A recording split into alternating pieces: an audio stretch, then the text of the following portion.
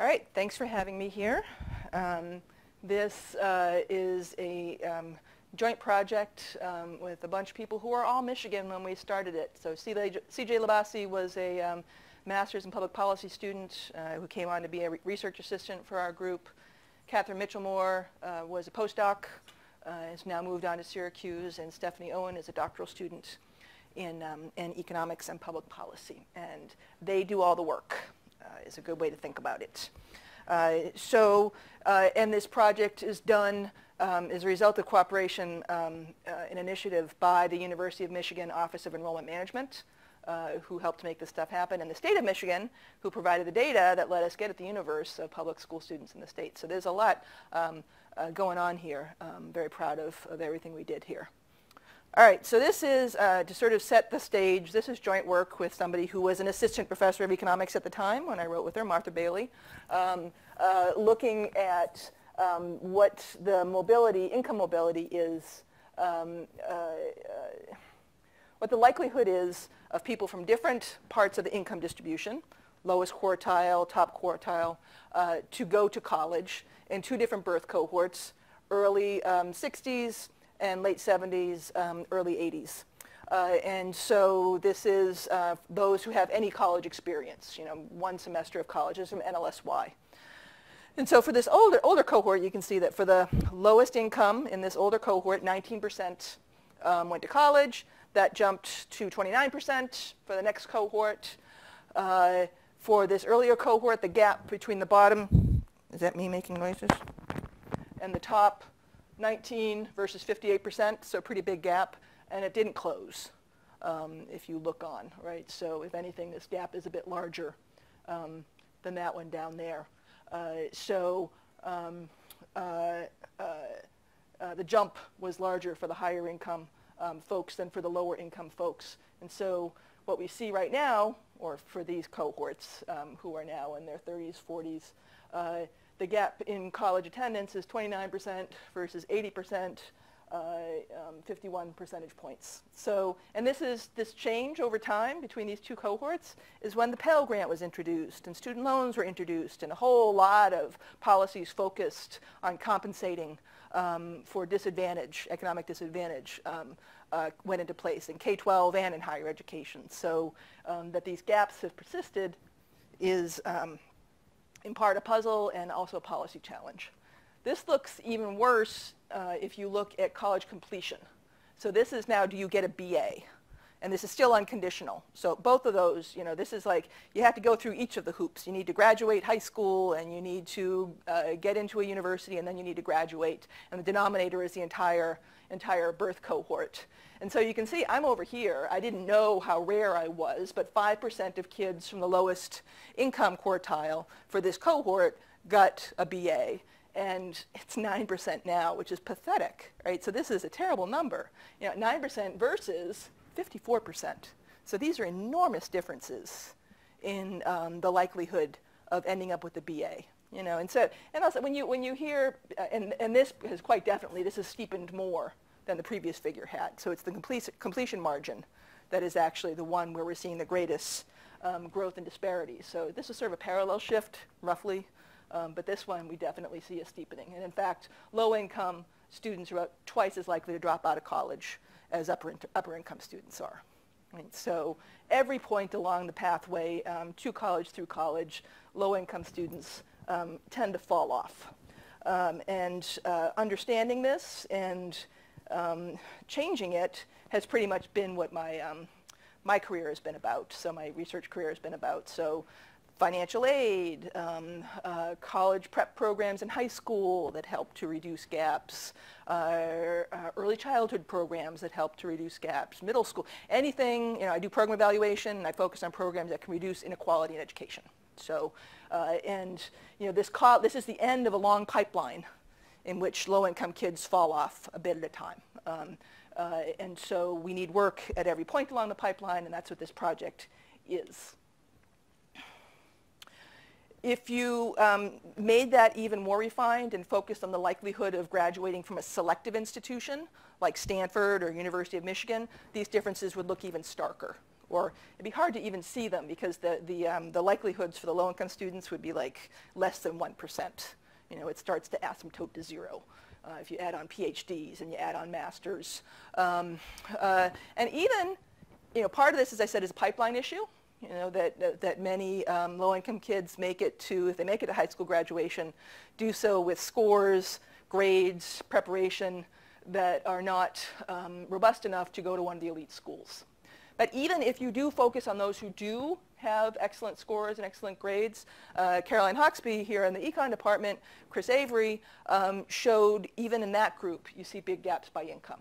So even the kids who manage to make it through and perform as we expect we would like them to if they were going to go to an elite school, the low income kids are much less likely to go to an elite school. This you pair with evidence that it actually matters if you go to a selective college. So in our system of post-secondary education, um, selectivity and quality go together pretty tightly. And the graduation rates are highest at places like Stanford and University of Michigan, and they're lowest at the for-profits and the community colleges. And we've got strong evidence um, uh, um, from a number of sources that if you get to an institution with more resources, you are more likely to actually graduate. So, you know, that these students are not going to these more selective institutions means in part that they are less likely to graduate and get that BA. If you look at what's been trending in earnings in the US, if you look at what's been happening to the income distribution, the BA is the dividing line. Some college looks a lot like high school in terms of what wages have done. Uh, BA is what's separated, and even further, it's getting a master's degree. That's where the, the, the, greatest wage growth has been and where the inequality has really emerged. So you need to get, uh, we, uh, a part of income mobility in the US, I would say, is, um, is about getting low-income students into and through college. All right, so uh, our context is, is, is Michigan. Uh, nothing has been blinded here. Um, uh, the focus is going to be University of Michigan. And in University of Michigan, it's all kind of, you know, University of Michigan is the most selective um, school in the state. And we see a pattern here that follows, is, similar to what we see nationwide. Um, for a low-income student, so this is this line here, for a low-income student, a selective school, a very selective school like Michigan is actually cheaper than uh, uh, the next one down, which is Michigan State University, because we meet need and MSU does not.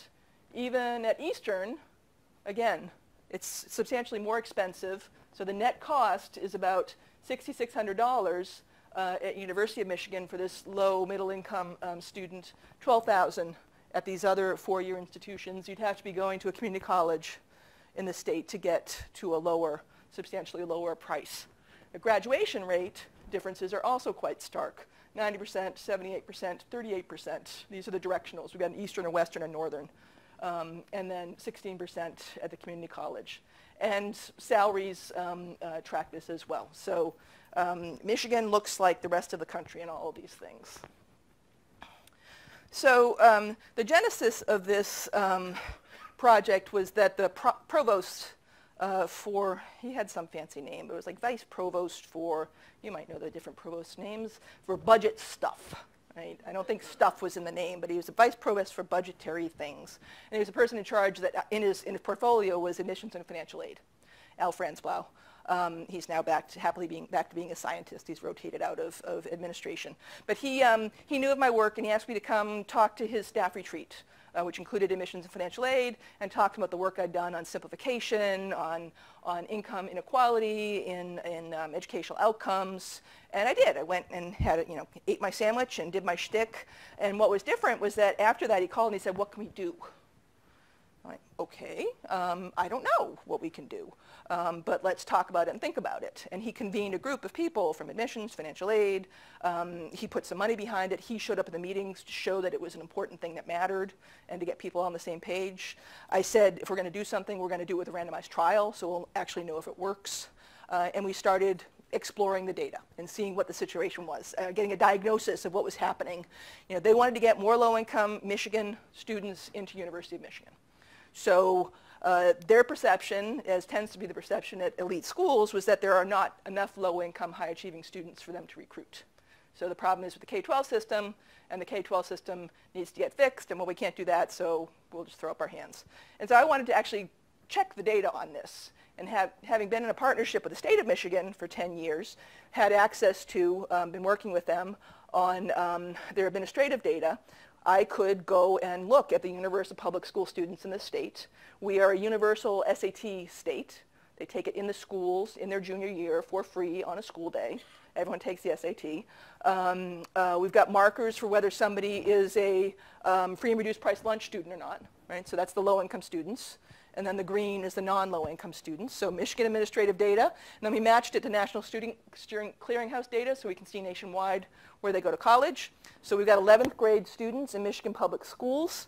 And here, this is before we started our experiment, um, who meet, so, so we, we, asked admissions, who is recruitable? Who would you focus on? And all schools have a, a, set of students whose GPA, whose ACT is in the neighborhood that they buy scores from ACT or SAT, right, and start recruiting them. Um, uh, so we set some um, criteria, pulled those students from the data, and then looked at what was happening to those students in terms of, um, in terms of college going. And what you could see was that even, and these are students who, you know, these are pretty high ACTs, pretty high GPAs. GPAs 3.7 and above, ACTs, um, you know, in the top 10%. Um, uh, even on uh, going to college at all, there was a gap between the lower income and the higher income. That gap got bigger when you got, here is Michigan, so highly competitive or above, 14% um, of the low-income kids were going to a highly competitive or above school, which in Michigan is basically University of Michigan. Um, and then you'd have to go nationwide to find other schools. 22% of the non-low income kids. Right, so, and um, a good chunk of them going to community colleges, non-competitive schools. So there seemed to be some, as economists would put it, money on the table. There were people, as, as, as the uh, and Avery uh, uh, research had shown, so this is um, uh, work uh, that they had done. Um, this is a busy um, busy slide, but what do we have here? This over here is low-income students. This is non-low-income students. Um, these are all very high-achieving students, like in the top 3% of the SAT distribution. And we're looking at where they apply to school. So what I showed you is where people go to school. This is where they apply.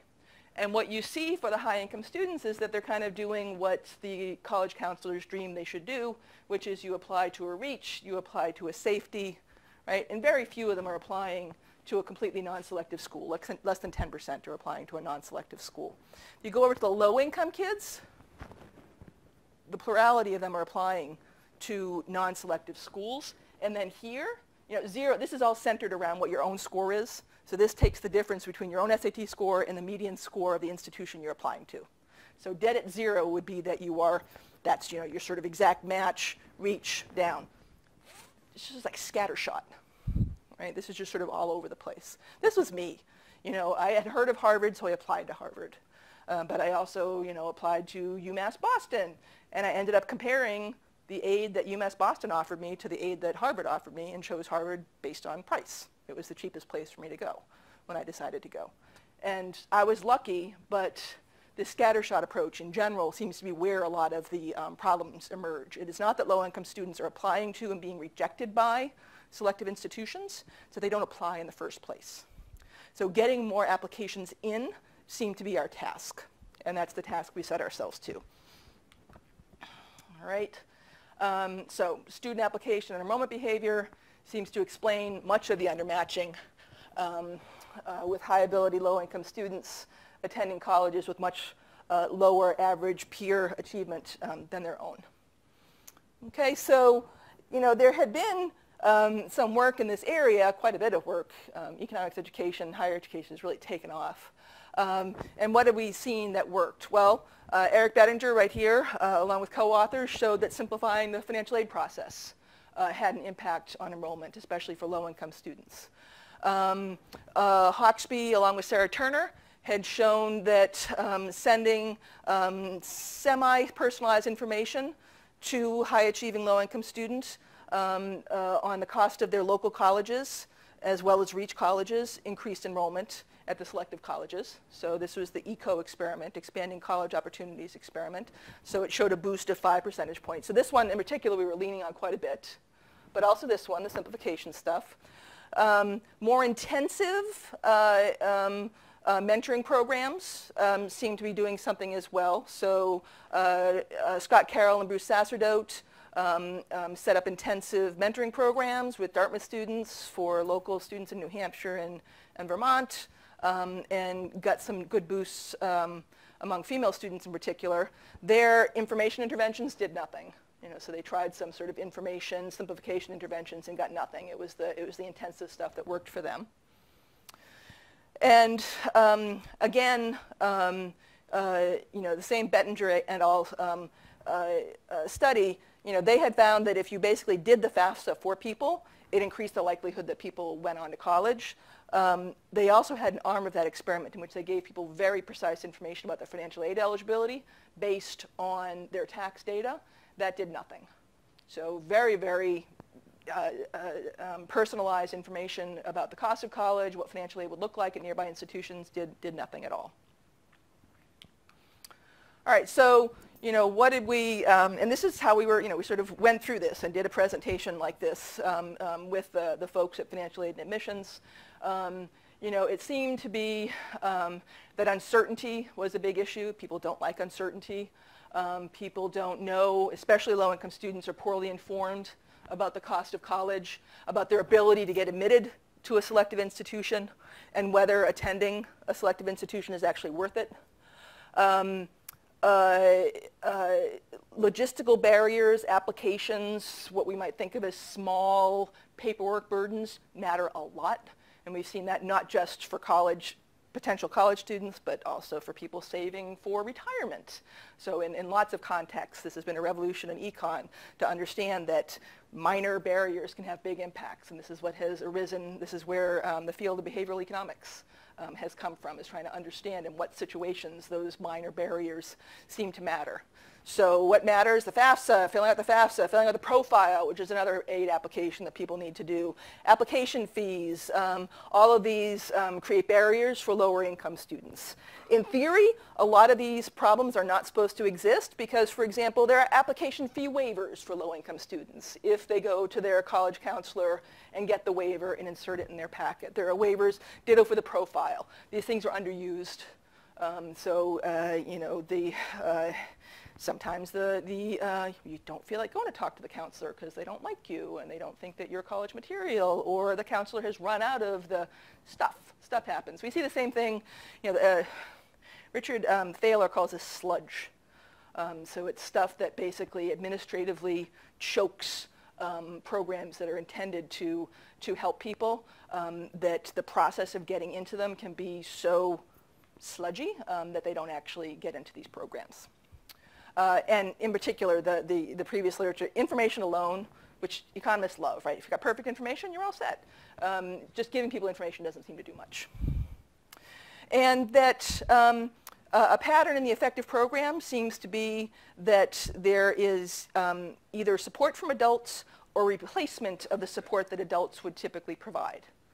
So for, you know, uh, a kid whose parents went to college, they're going to register them for the SAT and they're going to drive them to the SAT on a Saturday morning in an outlying suburb and they're going to cook them a good breakfast in the morning and yada, yada, yada. And have a credit card to register the, all these little things that an adult can do um, you can think of as the things that are effective if uh, the school does it instead or the school system does it instead. All right, so this was the set of, um, set of lessons that we drew. So what did we design? We um, um uh, hit upon um, offering a simplified an early commitment of aid to these students. So we were going to commit to four years of free tuition and fees at UM. Uh, we were going to, of course, encourage these students to apply. It was going to be called a scholarship as opposed to a grant. And we were going to um, offer it with no strings. So you didn't have to fill out the FAFSA or the profile. If you got into Michigan, you were going to get this no matter what. If you also did the aid forms, you were likely to get more. And the aid office was very hyper about that. They didn't want to discourage people from doing the FAFSA and the profile because in expectation, these folks were actually going to get a free ride, not just tuition and fees, but also their room and board. Um, it was delivered uh, um, in the form of a mailing to students at their homes, to their parents at their homes, and as you're going to see, we randomized this at the high school level. And so we sent to principals a list of which students um, were going to be eligible, a description of the program, um, and uh, contact information. So this is what it looked like. Um, we, our colors are maize and blue, if you can't tell. Um, where's light?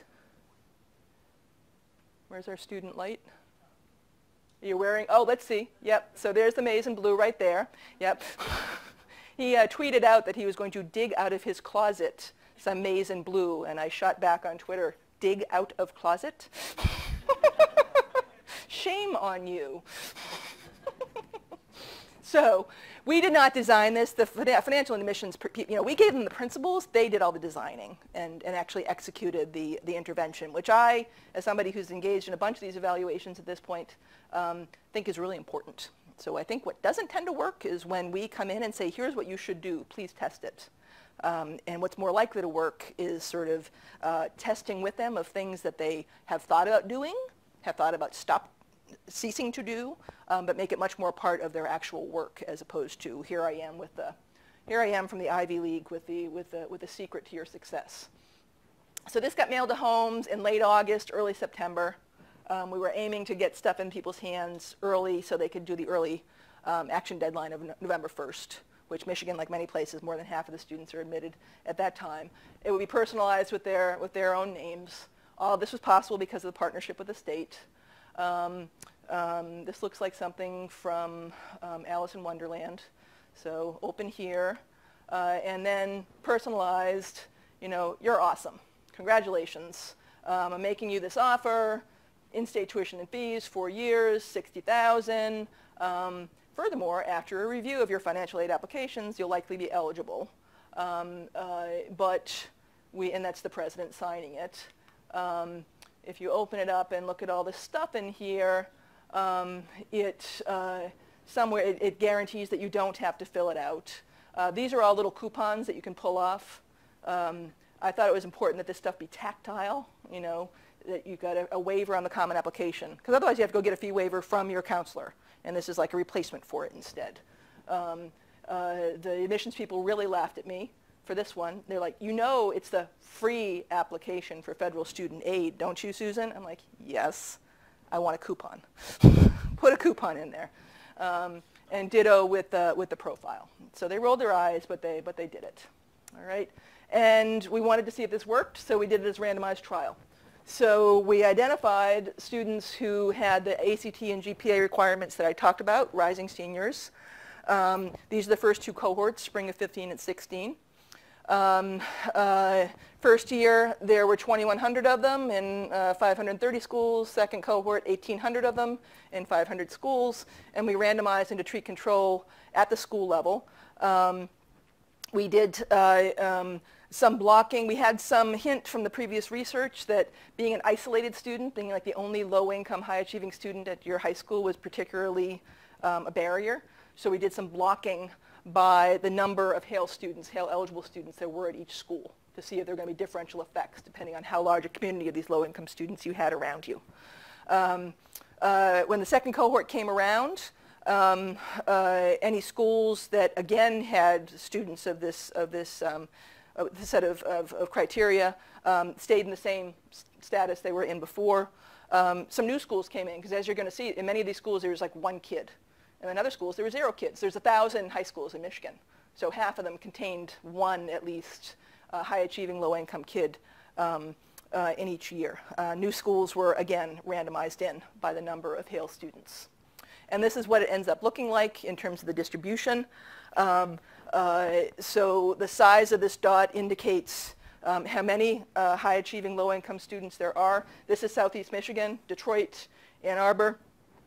Grand Rapids, Upper Peninsula, and you can see lots of tiny little dots, and those are the one-offs. That's what Avery and um, referred to them as. These are these is isolated students. Uh, a few places had, you know, more than 30 or 50 of such students. This is zip code as opposed to school um, because that's how the mapping software worked. But you can see that there's a lot of isolation, a few students here and there. And this is reflected in the summary statistics, right? So we've got um, about 4,000 students for these first two cohorts. Uh, this serves as a table that tells you um, both what the sample looks like and to show that we've got balance across the um, treatment and control here. Um, uh, um, 15% from the Upper Peninsula, that's that thing on top there, uh, 45% from the West Central area, 40% from the Southeast, about a third of them suburban, um, about half of the schools are rural. Half of the sample of students is not rural, but half of the schools are, are rural, right? So these rural schools would tend to have like one HAIL student in them. So this is all weighted by, by school right now. Uh, if we um, uh, look at the student demographic characteristics, um, they're majority female, which is something you see um, in many data sets that the, the more high achieving students tend to be, tend to be girls. They're white. Um, uh, again, as you go up the test score distribution and the grade distribution, um, uh, the distribution is more and more white. Um, by construction, they're all either eligible for a free lunch or a reduced price lunch and 70% of them are eligible for the free lunch. That's um, at 150% of, of the poverty level gets you the free lunch, and up to 180 um, gets you the reduced price lunch. And to give you a sense, that's like around, we're talking like 40,000 and below for a family of four is, is what this is um, uh, going to be. Uh, we, they switched to the SAT the second year we, we ran this. The state switched to the SAT, so we're going to be expressing things in SAT equivalents. Um, we chose students on kind of a grid basis. If you had a very high SAT, you could get away with a slightly lower GPA and vice versa. Um, uh, very few of them are uh, non-English proficient. Very few receive special education services. Um, only a third of them uh, were, you know, so they, they took their, to get into this sample, they took the SAT and got a certain score. So this is pre-intervention. Um, Only a third of them were sending their scores to University of Michigan on the day that they filled out their test. Right? And if you look at their high schools where they're located, the application rate um, at baseline is, you know, uh, this is the entire school, not just for those students, but for the entire school. About 7%, 6% of the school is applying um, to the University of Michigan. Yeah. No applications are much harder to, you know, so we could, we could potentially uh, ask the Common App people. I have asked the Common App people, haven't gotten it yet, but it's much harder to get application information than attendance information. Attendance you can get from NSC. I, I understand why it would be attracted to have these data, which does not change the answer that I don't have these data. But I'm being snarky. Oh, sorry. Sorry, sorry. That was a perfectly innocent question you were asking there. Yes, I agree completely. You are right. Good observation. Yes, it would be. I would like to know where they're applying. Um, I don't know. It's frustrating, hence the snark. I wish I knew. So the only place I know applications for is University of Michigan, which is in the Common App. So if we could get them to cough up the Common App data, we could see a pretty broader, a broader range of applications. Yep. Mm-hmm.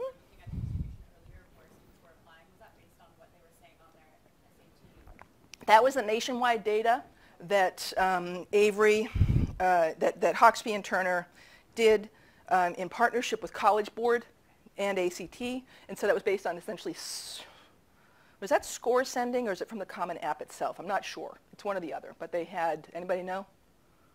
No? Okay. It's one of those. Either they had score sending or they had the information from the Common App. Yep. Okay. All right. Um, so you know, we sent this thing out. Uh, the student thing went out here. This is the first cohort. Um, and there was a personalized, they call it a Pearl, um, personalized, um, in Silicon Valley, you know everything. It's a per little personalized URL um, for each person where they could log on to the University of Michigan website and get information about the scholarship. So we could track when people actually went to the University of Michigan website to learn about this thing. Um, and that's what this is. So um, a few days after the student letter dropped, you see the spike in um, people going to um, the website. Uh, a few days after the parent letter drops, there's a spike in people going to the websites. The parent letter seems to have done something. Um, the, the principals get notified before the stuff goes out to the, to the kids or the parents. So there's no URLs, pearls floating around, so we can't see whether that has any impact in itself. And November 1 is the, is the early action deadline. Um, uh, uh, this is the second cohort. Timing was slightly different. Of course, we had trouble with the, pub, the, um, the printers, but again, same, same kind of pattern um, where each uh, item that went out there seemed to um, uh, lead to an increase in, um, in um, uh, seeking out information. They could get a T-shirt. First cohort could get a T-shirt, free T-shirt if they logged on and, and requested it. Second cohort, I think it was fuzzy socks or something, or you know, a water bottle. All right, so results. It's a randomized trial. We compare treatment and control. I'm not even going to show you an estimating equation. Right? So here it is. Control and treatment. And this is application to University of Michigan, which we're getting from their administrative data. Right? So the university gives us their application data. 26% of the control group applied to University of Michigan, and 67% of the treatment group um, applied to University of Michigan. The difference is statistically significant. Um, I can show you the standard errors and stuff if you'd like. Uh, um, but this is statistically significant. All right, I'm being snarky again. Um, what time is it for me? All right, I need a drink. All right, so um, um, there's what I just showed you, the application, and then this is admission, and this is unconditional. This is not conditional on applying because that's endogenous, right? So this is like of the the control group, 15% of it enrolled at University of Michigan. Of the treatment group, 32% of it enrolled at the University of Michigan. Each, each of these um, each year was about 1,000 students, right? So that's a, uh, um, the difference here, you know, is 170 students. So the first cohort, there were 170 more low-income students at the University of Michigan in the fall um, because of this, which is pretty exciting. Oh, this is the first and second, so it's actually more like 300 altogether. So the difference between these two. Um, uh, that's what I, oh, this is admission, I'm sorry. This is the admission rate. This is the enrollment rate. So 15% were admitted in the control group, 32% in the treatment group. Enrollment, 12% of the control group enrolled, 27% of the treatment group enrolled. And that's where the 150 difference comes from. Um, so that represented about 150 um, students. Okay, and we can do all this with numbers as well as pictures if we so desire. And um, there we can see, you know, the control mean uh, was 26% on application. Here we are actually controlling for the strata dummies and for all the covariates we've got, which are lots. We've got these students longitudinally going back to, you know, when they were in um, grade school. We can control for a lot of stuff. And it's a randomized trial, so it doesn't make a difference. Right? So the ultimate effect that we see on enrollment, 14 to 15 percentage point increase. The impact on application, about 41 um, percentage points. So this is way bigger than the ECO. The, you know, we had um, powered this. We thought we needed two cohorts to detect an effect of the size of the five percentage points that the Hoxby and Turner study had found. Um, and obviously, we did not need that. Um, by the time we had the first year's results, um, the uh, deadline had already passed where we had to get the second cohort going. So we ended up doing two cohorts anyway, and as I'll explain to you, we've continued this um, for other reasons. All right, if we break up um, uh, into these regions that we pre-specified, um, uh, we filed a pre-specified um, analysis plan, which was fun. Um, the biggest effects, you know, the differences between treatment and control, um, are coming from the rural areas. So this is driven by the rural areas. So the largest baseline application rate, because we've got, this is application rate now, was 36% in the southeast near the University of Michigan, but it was only 16% in the Upper Peninsula, the most rural part of the state, and 20% um, in the western part of the state, the Grand Rapids part of the state where Betsy DeVos is from. Right? And that was just a fact. I'm just giving you facts. Um, and you know, we basically see a compensatory um, effect where the, um, the regions are becoming a bit more similar. Um, on the enrollment rate, um, similar pattern, right? The biggest jumps are coming from the Upper Peninsula and West Central, um, and less so from the Southeast. Um, that is reflected then in the racial composition. So pretty much the regional differences drive. So who lives in rural areas in Michigan? Whites. So poor whites live in the rural areas of Michigan. Um, and as we saw, the, the sample was 84% white. And the effects, the biggest effects, were on white Asian students, from 23% jumping to 67% um, for blacks who are concentrated in the southeast um, region, where the big schools are, Detroit, Ann Arbor, um, uh, Ypsilanti. Um, the overall effect is smaller because they were starting with a larger baseline. 48% um, were applying um, in this sample. And Michigan um, you know, had historically made some serious efforts to go after students at schools that were majority black. Um, uh, we lost affirmative action in like 2006 uh, from statewide referendum, no affirmative action allowed. And so the school has been doing, instead of individual-based recruitment, focus on inner city schools, right? Do a lot of work. And that shows in the differential rate we see here um, of application by region and by, and by race. Uh, follows through, again, the biggest effects on enrollment um, uh, uh, for this group are coming out of the white Asian, um, smaller effects um, for black and other. All right, and they're same thing but by on, on a table. Um, the um, women started out with a lower application rate than men did um, with the five percentage point gap. That gap shrunk a bit um, by three percentage points. And uh, even more interesting, reversed or got much bigger. I mean, they're about the same on the actual attendance. So this is admissions policy, essentially. But um, women surged relevant, relative to men on the actual um, uh, attendance. Right? So 28% of the sample versus 22%. So it seems to be getting, and this is, this is a story that comes up in a lot of education interventions, a lot of um, both qualitative and quantitative studies of women versus men about confidence, overconfidence, and willingness to apply to a high prestige school like Michigan. This seems to have pushed a lot more women um, to give it a try uh, and um, ultimately got accepted. All right, again, there's the numbers.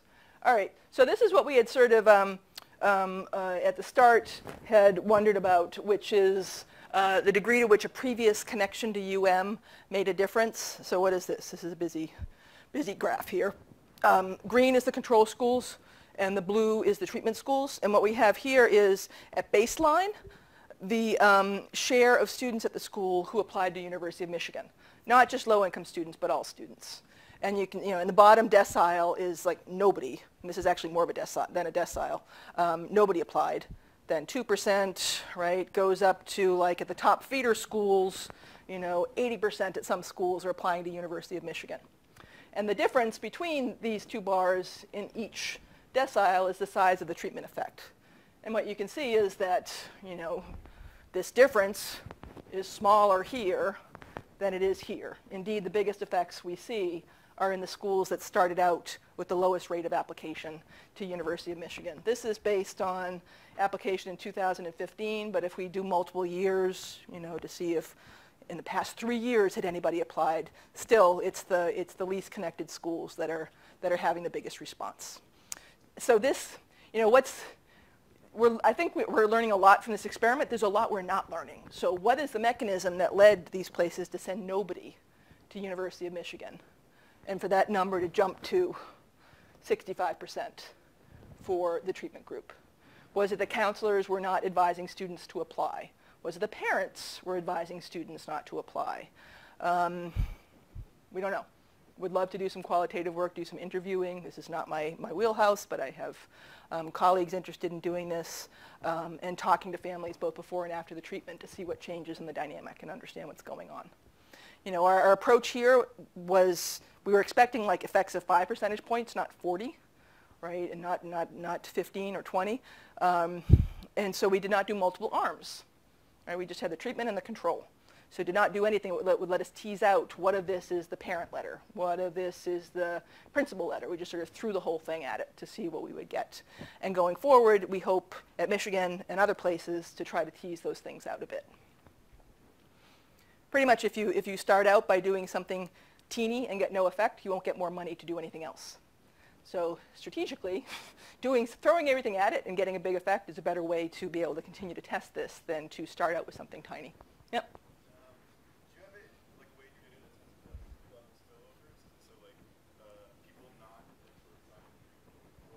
Yep. Did you read the paper? Are you cheating? You didn't? Oh, okay. All right. It's actually not cheating to read the paper, just to be. Huh? Okay, you can. that was, I was not, no, and now everyone's uh, is shy. Okay, no, that was not meant to be. It was not required to read the paper before coming to the seminar. I bet like none of the faculty in the room actually read the paper. they might have looked at my tweet storm about the paper, but um, all right. Now all of that that I just showed, and so I'm going to get to that. I'll show it to you in a, in, in, a, in, a, in a few minutes. All of that was about attending University of Michigan and applying to University of Michigan. The missing piece was where were we drawing students from? So it took a while for the National Student Clearinghouse data to come through that would let us tell because what I couldn't, you know, from the data I just showed you, you couldn't distinguish between us poaching students from Berkeley and us poaching students from the local community college. And I was hoping that we were getting them from the local community college. You know, if we were getting them from Berkeley and Harvard, that was not going to be a big increase in social welfare right? So we needed the National Student Clearinghouse data to get at that question because that's nationwide enrollment data. What we had before, what I showed you up to now, was just Michigan enrollment, okay? So now we have, um, uh, um, this is uh, based on the National Student Clearinghouse um, data. Uh, it's the first and second HAIL cohorts, and we are now showing the treatment effects and the control means on attending a highly competitive or above school. So that means a school as competitive as UM or more competitive. And the effect is identical to the effect that we measured before because it's all operating through UM. Right? So um, uh, highly competitive or above other than UM, zero. If we were poaching from those other schools, this would be negative. Right? If we've been poaching from Berkeley or from other schools more competitive than Michigan, this would be a negative number. And if we, you know, by telling people they were fabulous, encourage them to apply to other such schools, this would be a positive number, but it's zero. I think there's a one in there someplace, like somewhere like way down the line, but basically no effect on applications to other schools.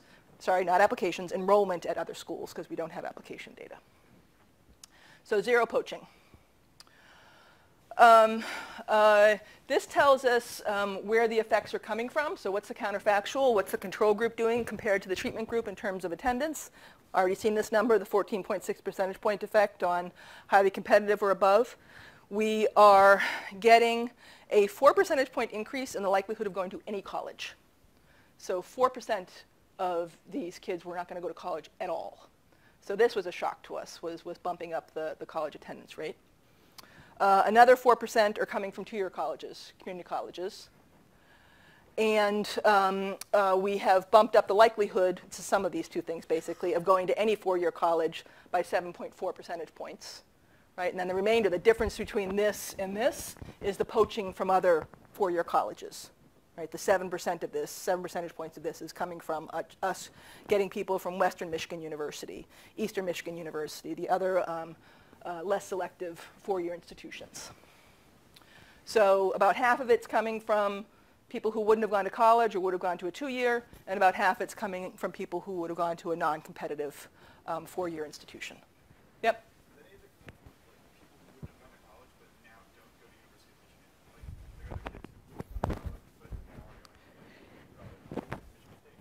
Um, on net, you know, 4% of them are, they're 4% less likely to go to two-year colleges. Is there somebody, if, if, if there could, there could be, we don't know what's happening, to images, we just see averages. Could it be that some people were induced to go to a two-year college, but even more people were induced to go from a two-year to a four-year? Yep. There's lots of stories that you could tell that's consistent with this. Um, what we get here is the net. We did poach from Michigan State. Are we recording this? Uh, all right. So a uh, quarter of the effect um, is uh, from shifting students into any college at all. Um, and that's a pretty big effect. I mean, that number, that 4%, you know, if you look at the previous literature on financial aid, this is, you know, roughly what people, the effect people would get by, um, from a program that increased grants by, say, 1,000 bucks a year. So if you offered somebody a grant of $1,000 a year, four percentage point increase in college attendance is roughly what you would expect to, to see. A simple grant program that's actually quite effective. So um, that this program, this program was not um, an increase in aid for these folks. We made it certain for them. We got rid of the paperwork for them, but they were going to be eligible for free tuition and fees no matter what. What we did was make it certain for them and get rid of the paperwork for them. Uh, I just said all of this, right? Quarter of the effect is two to four year. Other half is less selective four years, no poaching, or inducing students into other highly selective institutions. All right. Um, uh, This is all of that stuff by gender. Uh, so as we saw before, you know, the enrollment effects um, for the highly competitive was driven by the female. It's, both of them are big. 11 percentage points is big, 17% for the females. Um, uh, the four-year effect is about the same for uh, the two genders. The, um, the uh, female effect uh, is, is, is considerably larger um, for enrollment. So a lot of the action is, is coming through the, the girls in this. All right, now persistence. So if we induce these folks into university, and this is, this is the concern people have about overmatch, undermatch. Um, you know, if you get somebody to go to a more competitive school, are they're just going to drop out right away. They'd be better off at a less competitive place where they'd, they'd, um, they'd uh, uh, face less competition. And so this is now two years, and we just have this for the first HAIL cohort right now. And what we're getting here is, so the first set of columns, this is just the first cohort, so these results are slightly different from what I was showing you before for um, fall after high school graduation, and then did you attend two consecutive falls um, after high school graduation. And so down here, for the first cohort, the attendance at any college at all was six percentage points. Um, for attending two years is eight percentage points. This is driven by not just the people who wouldn't have gone to college at all, but the people who are now going to a four-year college that they're less likely to drop out of. So the likelihood of completing two years of college, attending two years of college, we don't have credits in this right now, we just have do you show up two falls in a row, has increased by eight percentage points. Um, the likelihood of showing up two years in a row to four-year college goes from nine percentage points for the first year to 11 percentage points for the second year.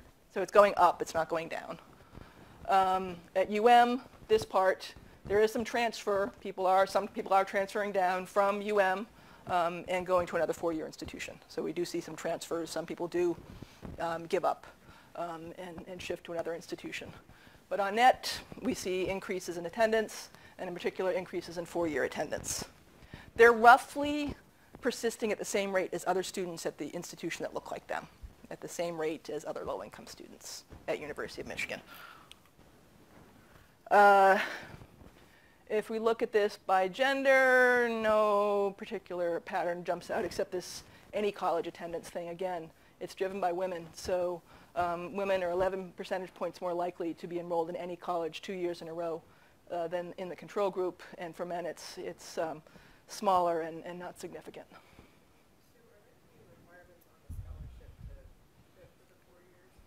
No, no more than for being at Michigan, period. You know, so but no.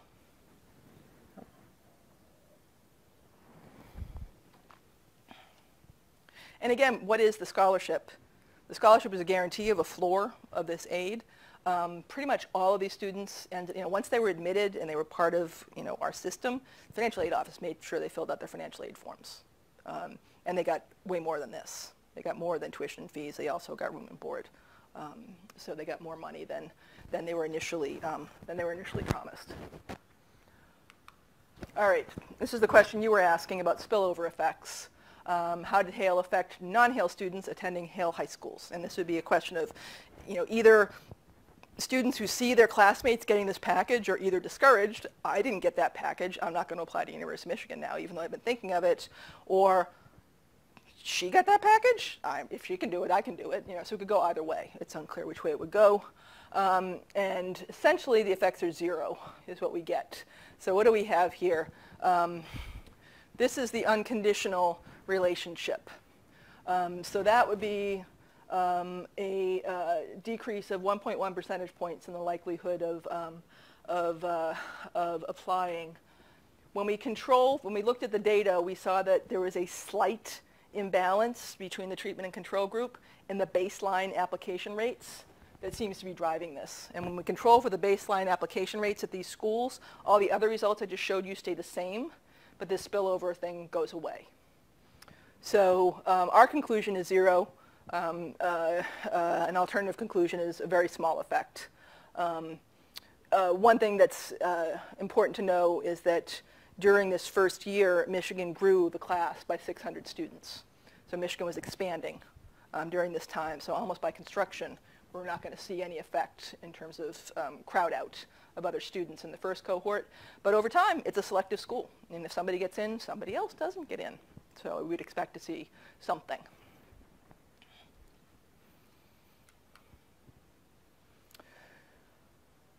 And then this just breaks it down by um, the application margin, um, the enrollment margin, and so forth.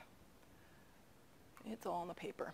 And then I made fun of standard errors, but of course had to then do something fancy with standard errors. So this is, um, uh, you know, did we just pull a sample that randomly yielded these results of a 40% increase in the likelihood of application, and it was just, you know, an in inference mistake. Uh, so because we needed our grad student needed something to be able to do fancy, um, she um, did um, um randomization-based uh, inference uh, 10,000 iterations were basically just kept drawing from the, the, the um, set of high schools um, and assigning to treatment and control. So creating 10,000 um, treatment control comparisons. And the pictures are gorgeous. Right? So here's our estimated effect, and that's um, the effect from the 10,000 iterations.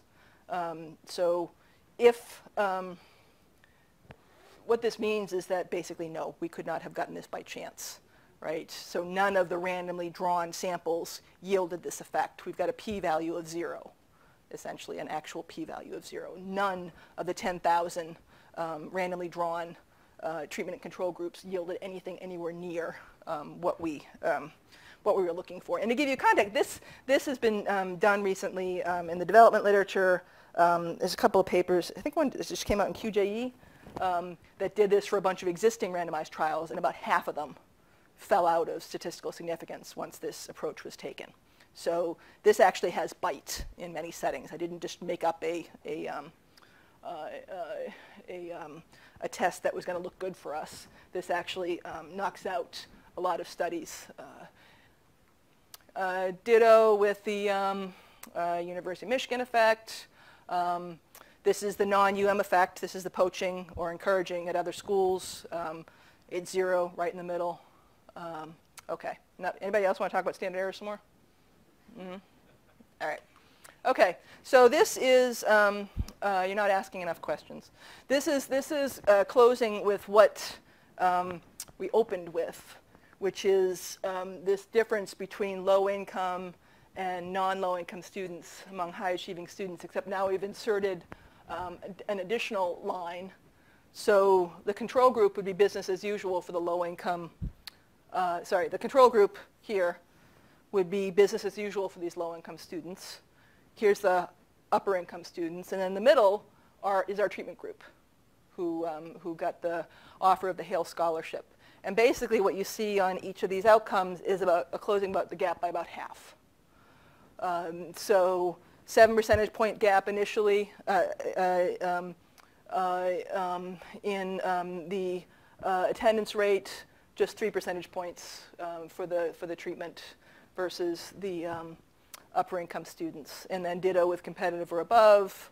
Very competitive above, it's actually reversed. Highly competitive above, it's reversed as well. Um, so it cut by about half the gaps between the upper income and lower income high achieving students and the type of schools that they, um, that they attend.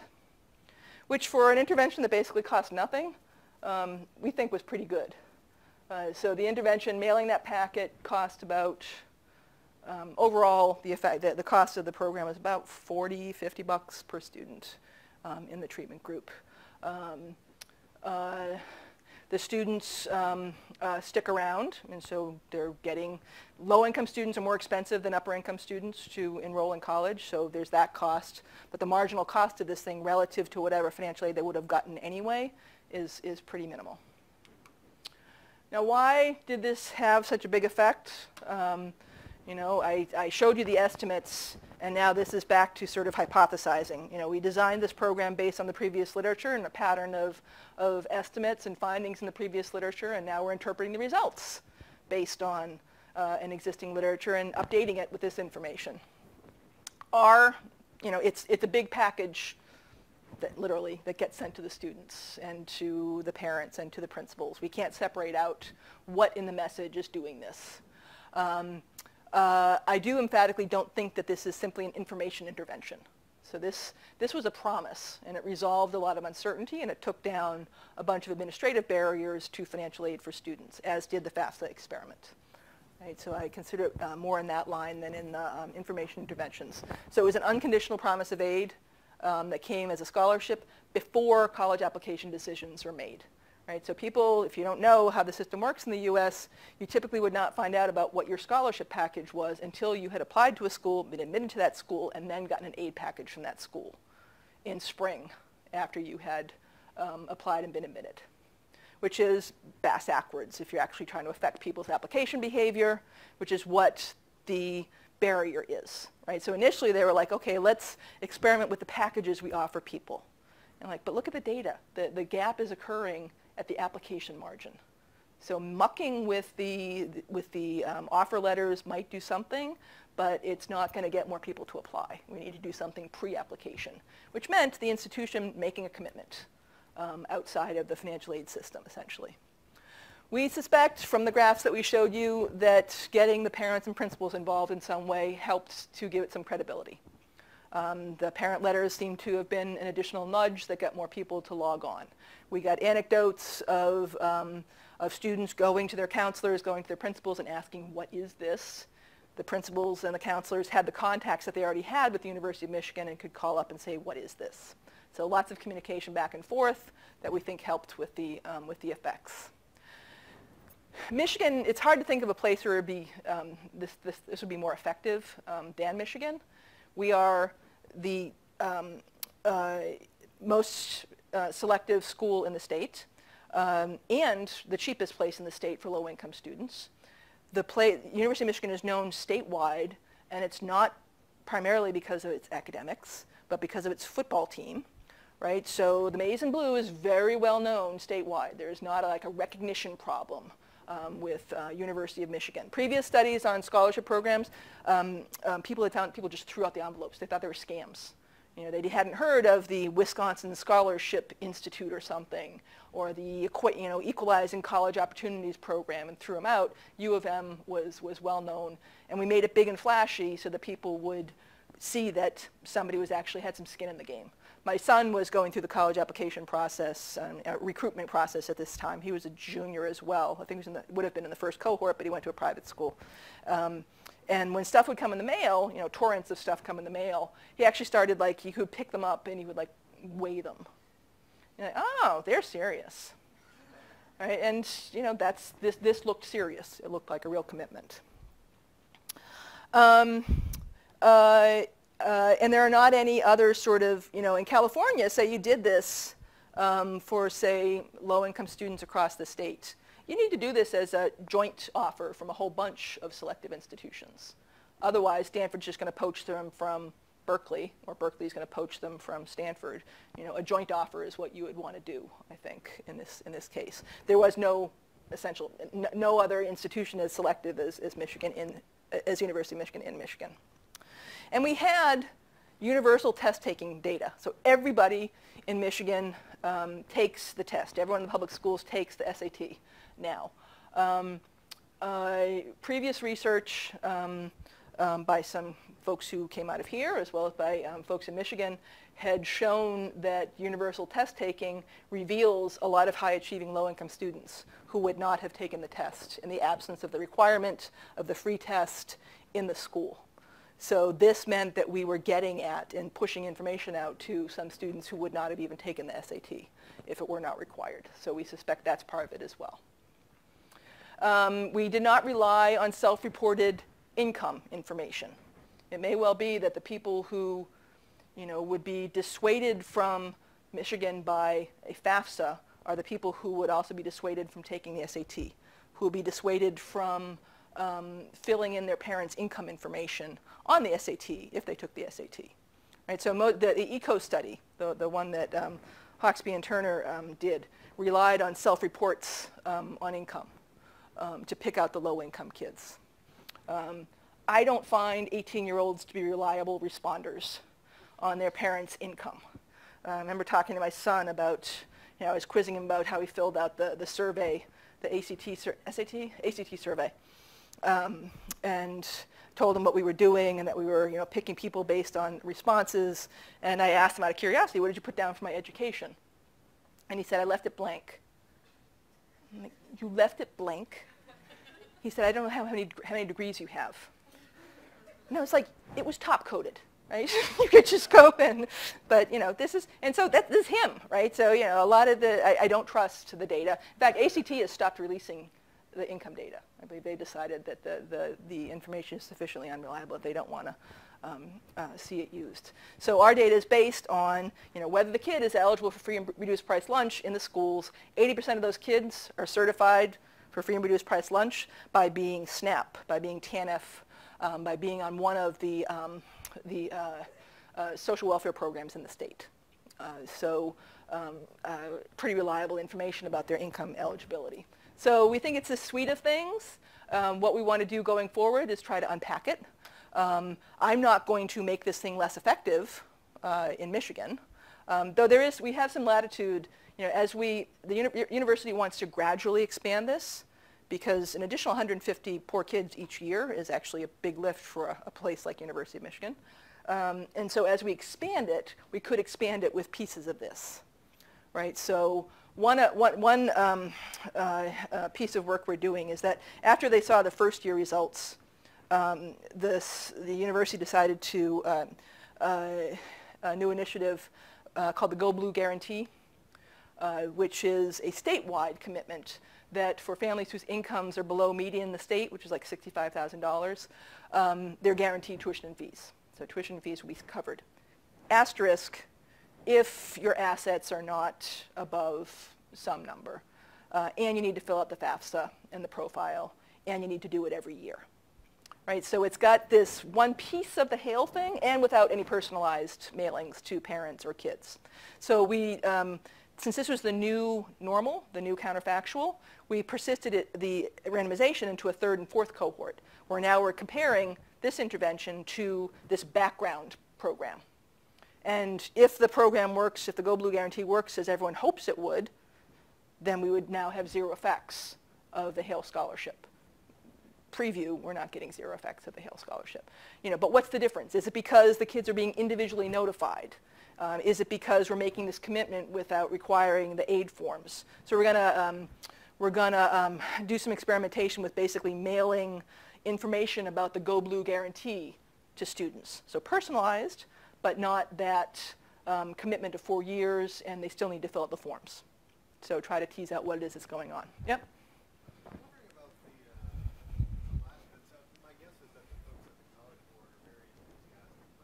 Mm-hmm. Mm-hmm.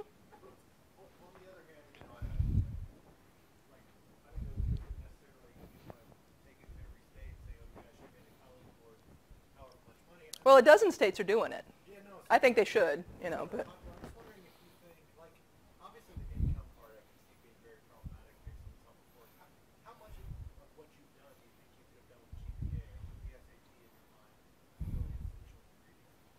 The schools don't want to do it with just GPA. So it's more like, you know, will, you know, how many elite institutions have ditched the GPA, uh, sorry, have ditched the SAT and the ACT, uh, a handful. So um, I don't think the schools would be willing to do this just based on GPA. Now, um, you know, how about using whatever other high school test the state administers? So in 13 states, maybe it's a dozen now, um, this is the required NCLB test. Um, in, um, or at least it's a required test. In other states, they've got their own standardized tests, and you could pick students based on you know, top 10% of whatever the state test is. That's actually what the Adams Scholarship in Massachusetts is. It's like scoring um, above a certain cutoff on their, um, their 10th grade test. So there, you could use other tests potentially. But you know, the reason why these tests emerged in the first place because it was because of a perceived information gap about what the quality of the schools is and what grades mean in different schools, and the institutions looking for some universal um, standard. Uh, uh, you know, do I like the idea of lining the pockets of College Board with lots of these? But it, this should be a universal test. I mean, you have to take it to go to a four-year institution. Um, it shouldn't be, you know, people shouldn't have to pay for this and go to these things on Saturdays. Um, it needs to be an in-school test, and I've written about this. Uh, and therefore, I'm a College Board shill, apparently. Uh, um, already showed you that. Um, you know, what does HAIL tell us uh, about student decision making? You know, we hope we learn something about this, about how, so we can generalize. Um, you know, sort of standard human capital um, uh, theory doesn't get you very far. Um, uh, you know, you need to bring in something about uncertainty. This did not change the cost of college for these people. And, you know, if you use sort of very standard econ theory, you know, you could say, well, it reduced the administrative burden. And you can uh, monetize administrative burden by counting up the number of hours that somebody would have had to spend filling out those pieces of paper. The thing is, they're high school graduates who have very low wages. So you can't, you can't get very far with this approach in terms of how much this reduces the cost of applying to college. It's a few hundred bucks or something. You just can't get far with standard theory. You really need to move to behavioral econ, um, uh, be thinking about loss aversion um, uh, uh, and other, um, uh, other cues that might have been decreasing the application rate. Um, you know, in the standard theoretical setup, you know, it did reduce uncertainty about the cost. Um, it revealed information perhaps to these students at the probability that they would get in. Um, the fact that they got this personalized um, uh, um, um, packet and other students did not. And that's it. These are the various people who paid for and provided data for this project. Um, this was a really nice partnership. I was really pleased uh, by all the people that we got to the table on this. So the Michigan Department of Education provided the K-12 data, including the, um, the, um, the addresses that let us mail the stuff, uh, um, and IES uh, supported the program. So when you say the intervention only costs 40 to 50 dollars, does that mean there is an already existing allocation for low-income students that was just never utilized? Oh, Michigan, Michigan meets need. Okay. Right. These, the promise of tuition and fees if, so what we, as part of the diagnostic process, we took information, we took, uh, we matched, the, we, we looked at students within the University of Michigan who had been FERPL when they were K-12 students and looked at their aid packages.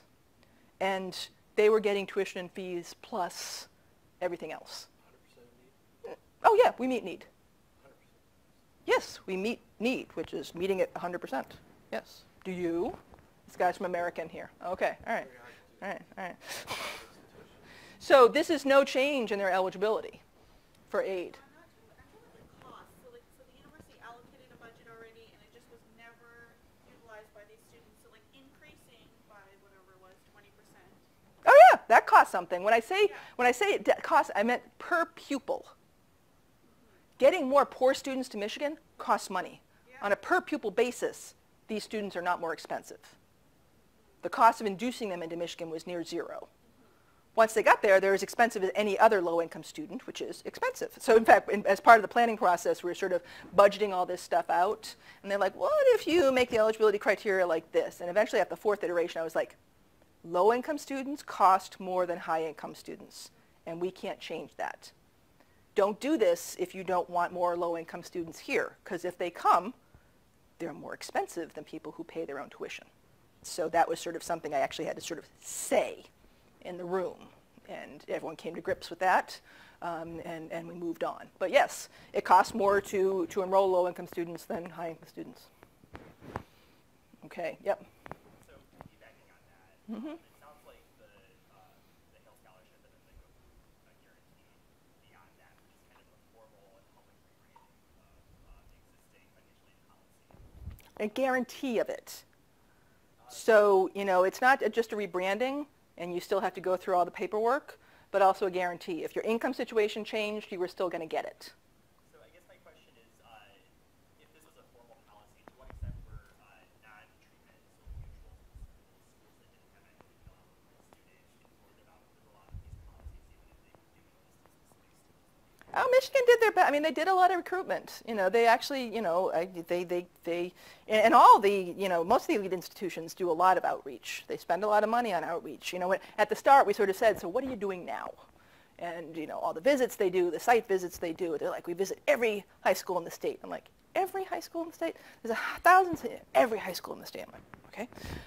Uh, um, so, you know, like we weren't going to do more fairs or more site visits. Plus, you're not going to send, I don't believe that they were sending people to every high school in the Upper Peninsula. I wasn't going to confront them with that, but I don't think they were, right? So doing tons of outreach, intensive outreach, especially in the urban areas. Um, uh, less so in the more scattered rural schools, because I mean, it just, it doesn't meet any sort of cost-benefit analysis that you would send somebody to meet with one student at a rural school in the Upper Peninsula. It just doesn't make sense. Yep. Um, for students who were identified as potential rock stars, would they have had to qualify for free reduced lunch in that year or at any? No, just the junior year. We- used it, we did it based on junior year at the time of the test. Were they, were they FERPL at that time? We experimented with, um, you know, as we were trying to get it that, you know, everybody who we identified was going to get a full ride at Michigan. We then experimented with what if they were eligible for two years? What if they were eligible for, eligible for three years? And that's where another paper that I presented, K- Kathy presented it here, Kathy um, Michelmore presented it here, the relationship between test scores and um, uh, length of economic disadvantage. That paper came from this because we were sort of looking at um, uh, how did students differ if you use different um, spans. In the end, it was simpler to just go with a single year. It didn't make much difference on this margin. So for high achieving students who were too embarrassed to say file the paperwork in that year, kind of missed out on this opportunity. 80% are direct certified in Michigan, right? So that helps with that. But yeah, if, um, um, yep, that's true. Is that, yep. Um, so for the students who were, who went to Michigan as opposed to going to a two-year school or a four-year school, do you know if, um, it might be too soon actually to know, but if maybe they would have gone to a community college and then transferred to Michigan through one of, either through like Dearborn or Flint or through the community college transfer? We, we actually do see some transfers from Dearborn and Flint. So they felt, I didn't, it sort of complicates the discussion, but there were an additional um, set of students who they did not admit, but thought they were actually pretty good students and told them if they went to Dearborn or Flint and did well, they could transfer the next year and um, had the deal. Um, so a bunch of them came through. Um, uh, but yeah, it's going to take a few more years for us to see that. We basically need multiple years of the NSC to see that the, uh, the UM, uh, Flint and Dearborn are on different systems altogether, so we don't actually have their enrollment information. Yep. So more on the admission, on the enrollment side actually. Uh, you talked about students' decision making. Can you look into like uh, majors that they're deciding to take? Because like higher income students might have a lot more information about how the market looks like afterward. So we've got, as, as part of the, um, the data agreement we've got with the state, and, and you know, we are, we are now the, the gatekeeper for these data in the state. I encourage all of you to think of projects that use Michigan data and apply to the Michigan Education Data Center, which I run, which is all of the data that you see here, um, and we're making it available to outside academics. Um, so we're, we're, we're doing the work on, on making it available. Part of that is transcripts for all the public universities in the state. So if somebody goes to a public university in the state, we see all their courses and their grades and so forth. Major is actually really difficult to pull out of most school data because people usually, they, they switch around their majors and not until they actually graduate will they actually settle on what they're going to do. But you can see how many credits they've accrued in different, in different fields and what their grades are. So we're waiting for time to pass so that we can look at effects using NSC as well as effects using the, the, the transcript data on um, credits accrued, majors chosen, all that good stuff. Yeah, I'm curious, so prior to Stanford, I worked on a, a college access program at Corporate One, and one of the biggest um, frustrations with mentors and, and advisors was how do we how do we advise the students to apply to X school? How do we give them how do we know match versus fit on on all these there's too many institutions? Is it do they have first gen programming, summer bridge, you know, what advice in terms of selecting the institutions? Like what's the best school for a given student? Yeah. Yeah, well, yeah, I don't know, you know, So I just, just the, you get handed a Michigan might be good for you because it's. that's why I said that this was probably the simplest place to do this, because it's the most selective school in the, in the state. It's the best resource school in the state. For Michigan high-achieving students, it's obvious. In the Bay Area, it's not. In New York, it's not, you know, clear, you know, and so in those settings, if I were to do this intervention, what I would want to do is use the intervention to level the cost playing field across all these choices so students could focus on the other choices, on the other aspects of the choice. So you now know that this consortium of schools is going to give you tuition and fees for free for four years. Pick the one that makes the most sense for you along these other dimensions.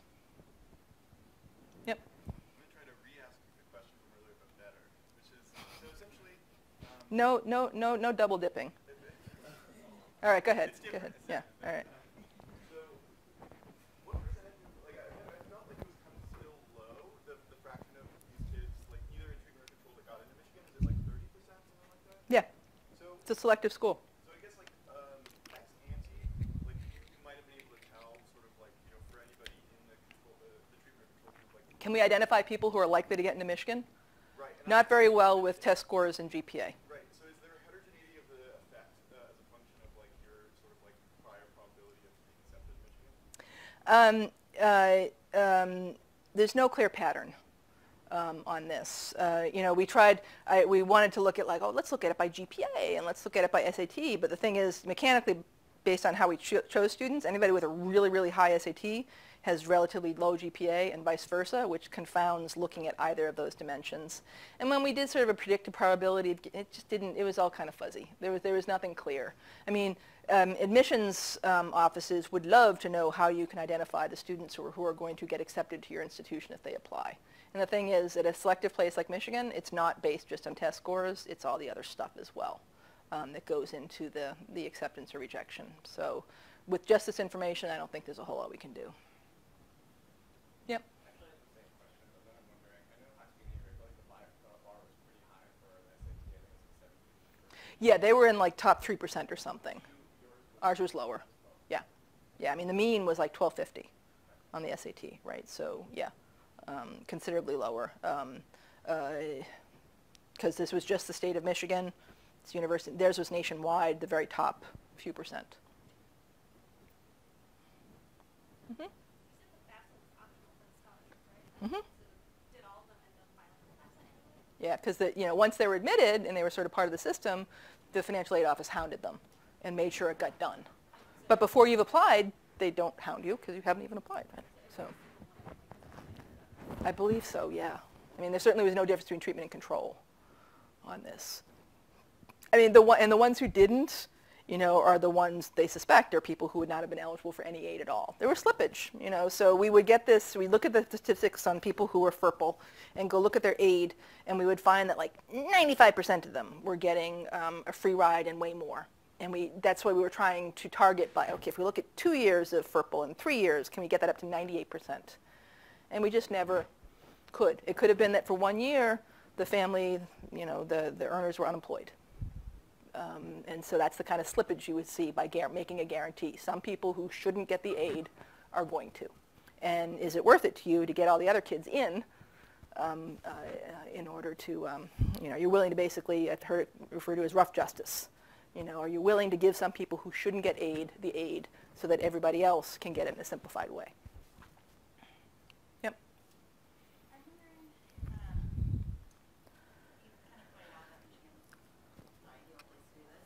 If you were Michigan State's admissions office, how would you react to this study? Because I, I know there are takeaways for, you know, the second tier of state schools that are competitive institutions, and Mhm. I'm kind of having a hard time constructing that intervention in my mind.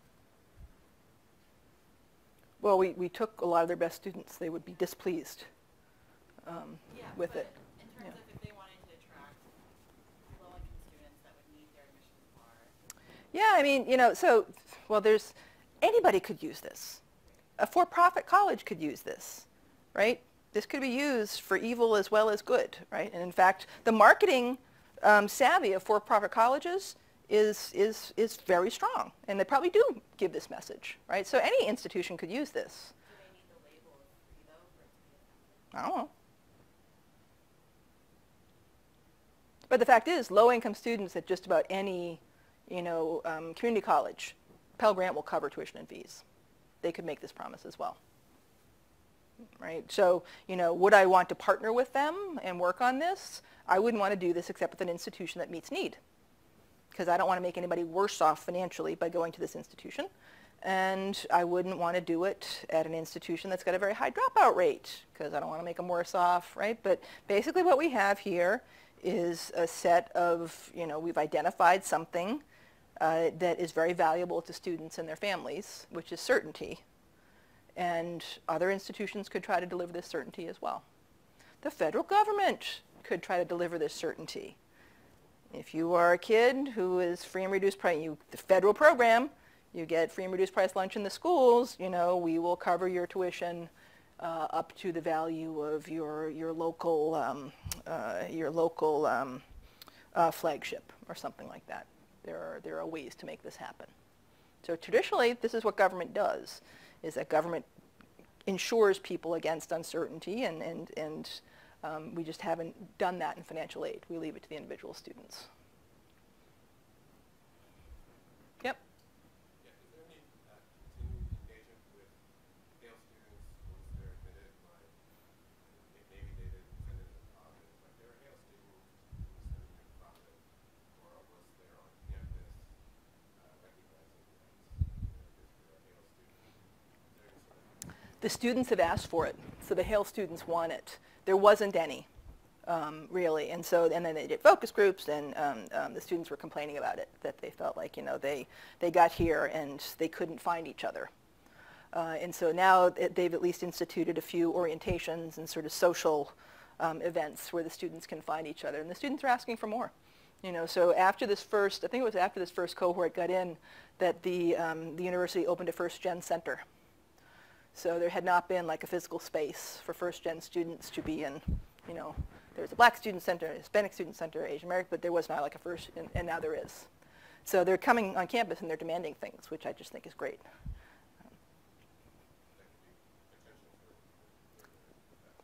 I would love to be able to experiment with supports for these students. Um, and, uh, you know, the thing is, this is, admissions is centralized, financial aid is centralized, um, uh, but uh, advising, mentoring, academic support is the schools. And so, you know, um, but, you know, I could try to partner with one of the schools, one of the larger schools, to work on some supports once students um, arrive.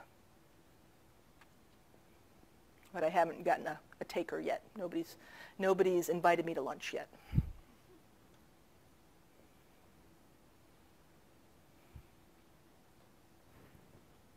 know, U of M, they're big on, um, in, in admitting people to communities, like there's like the WISE community, the honors college, and a different Right. colleges, but different. Yep. You haven't, have you looked at any of the data as to like where these students, um, minutes. Okay.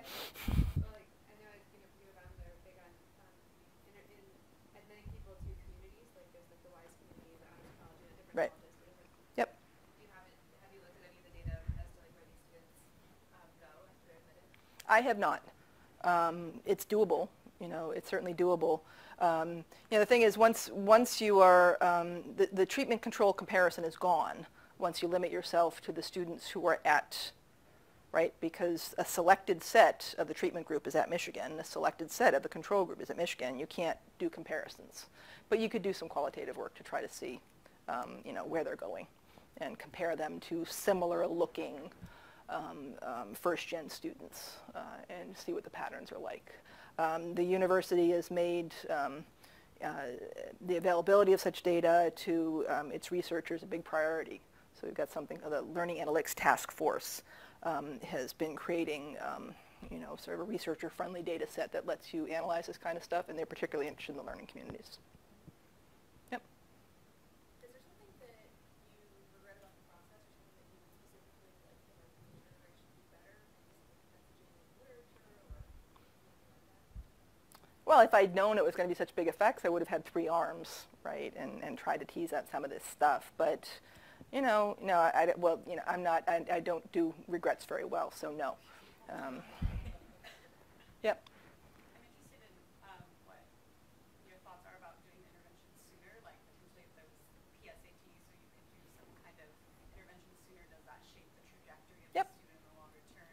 And that's something we've been talking to the, you know, the universities um, got a whole bunch of partnership programs with, um, with high schools, urban high schools, because you need a critical mass of students for this to be worthwhile. So they're like, could we do the same thing, you know, for the HAIL students? It's like the modal number, I didn't show that, that, that statistic, the modal number of HAIL students at a given school was like two.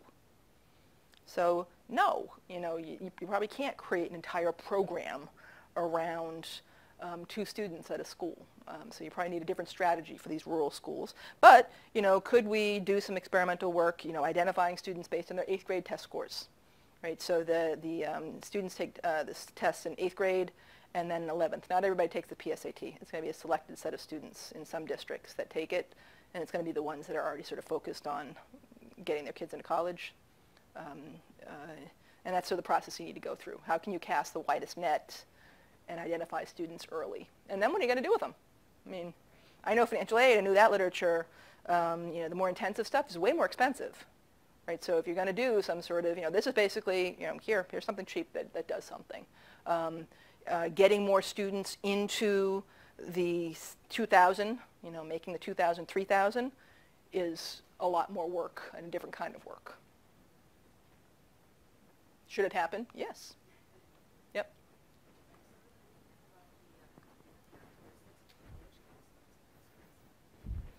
Um, you know, it's in our um, state um, registry of educational professionals.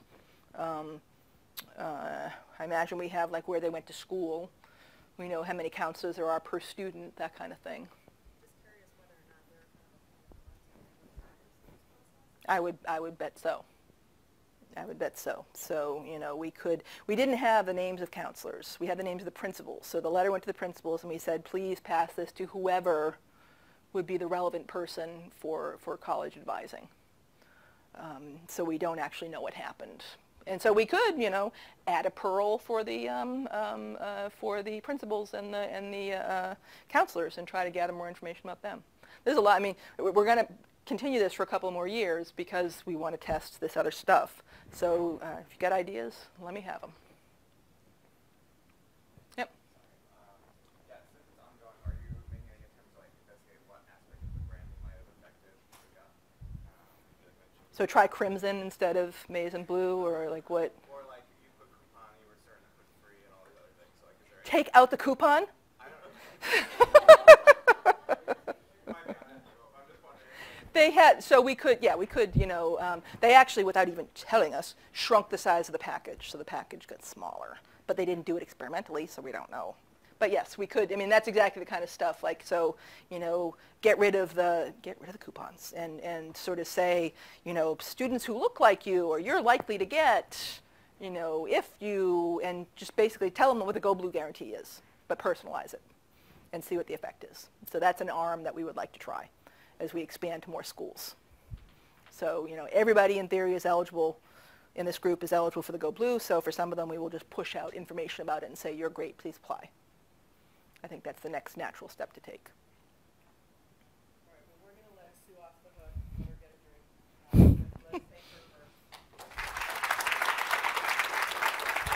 Thank you. Lots of great questions.